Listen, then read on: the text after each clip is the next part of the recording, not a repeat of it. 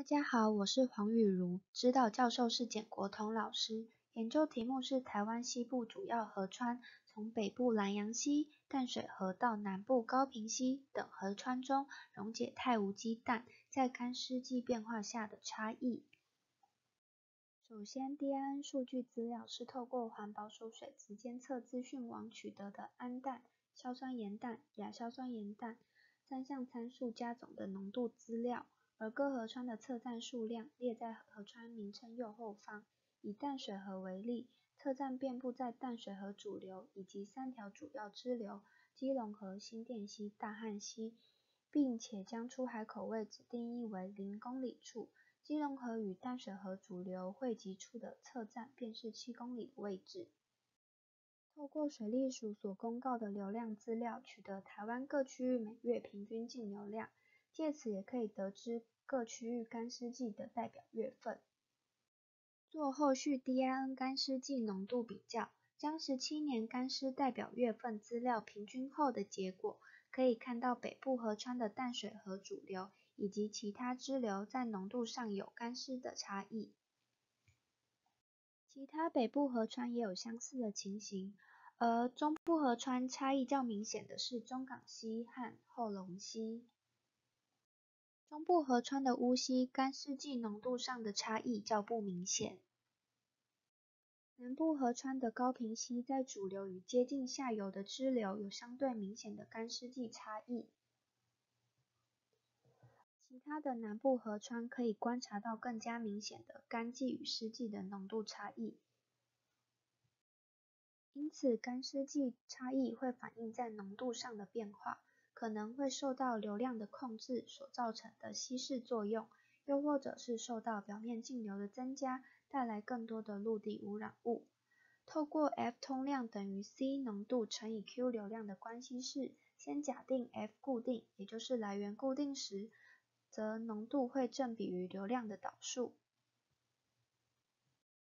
将环保署测站对应于水利署流量测站，取得环保署采样日期前三天的流量平均值，并做 DIN 浓度与流量导数的线性回归统计。在北部河川中，R square 皆小于零点二；在中部河川中则小于零点一。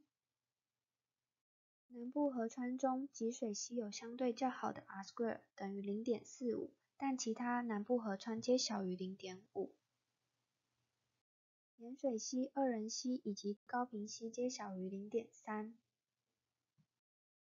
整体而言，北中南三区域的河川 r-square 皆小于零点五，因此无法解释原先的假设，也就是说，输入来源是不固定的，浓度不单纯只受到稀释作用的影响。那想知道干湿季影响下的通量变化？首先必须除去海水输入的稀释效应，计算出有效的 DIN 浓度 C star，并且估算出河川总径流量。接着一样透过 F 等于 C 乘 Q 的公式，便可取得氮输入到河口的通量。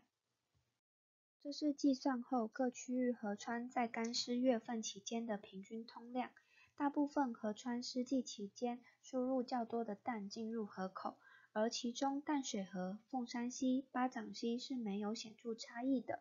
比较特别的是，北港溪在干季输入的通量较湿季高。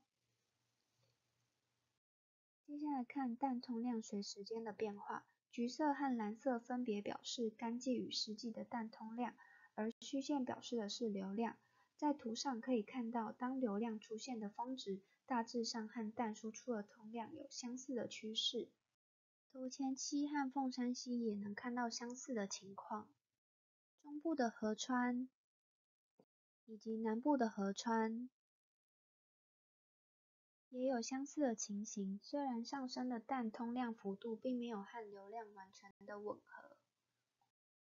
但可以推断，当表面径流量增加时，有可能会带来路源的物质，并且增加输出的氮通量。整体而言，不论是 DIN 浓度还是氮通量，都会依干湿季而有所差异，但并非单纯受到净流量的影响，更多的是受到输入来源的控制。